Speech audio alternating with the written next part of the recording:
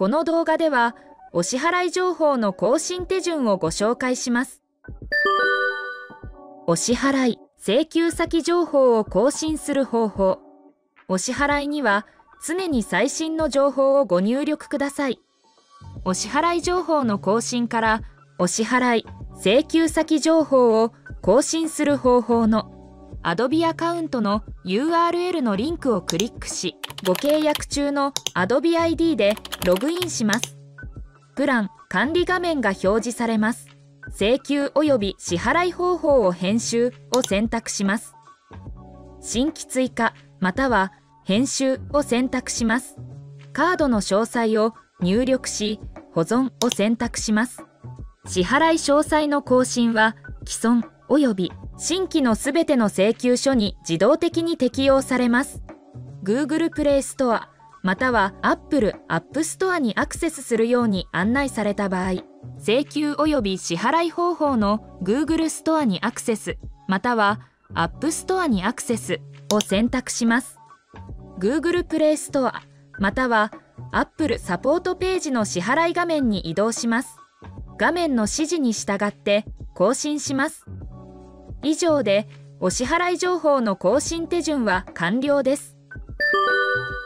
よくある質問。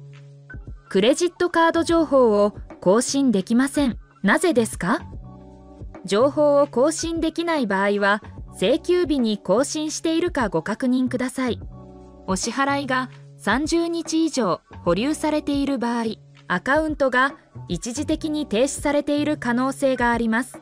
その場合は、お問い合わせいただき、アカウントの再開と請求先情報の更新をお願いします。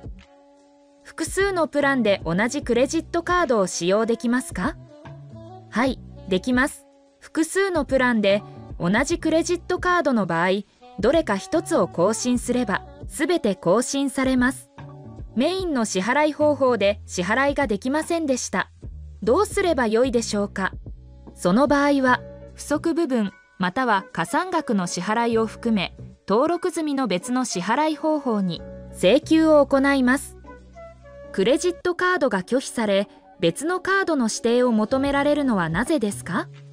クレジットカードが拒否される理由にはカード情報の入力ミス残高不足銀行の制限設定など様々なケースが考えられます。別の有効なクレジットカードをご指定ください。サブスクリプション料金はどのように請求されますか？無料体験版終了後解約しなければ自動的にサブスクリプション料金が請求されます。表示される認証リクエストはカードの有効性を確認するためのものであり、実際には請求されませんのでご安心ください。登録したクレジットカードを削除できますか ?Adobe アカウントの削除を行うことで、登録済みのクレジットカードも削除されます。アカウントを残したまま、クレジットカードを削除したい場合は、お問い合わせください。よくある質問の登録したクレジットカードを削除できますか？から Adobe アカウントの削除の URL のリンクをクリックし Adobe アカウントの削除の方法もご確認ください。お支払い情報の更新手順は以上となります。ご視聴ありがとうございました。